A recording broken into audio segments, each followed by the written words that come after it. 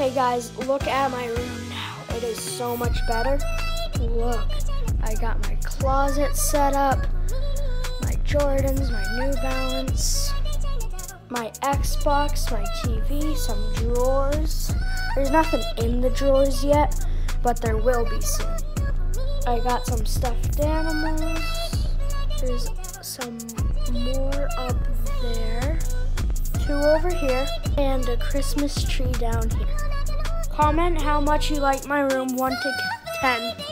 And also, I'm gonna have baseball stitches. I'm gonna put those up tomorrow, I think. So I'll keep you updated on it. This, and also this poster is gonna be on the back of this door right here.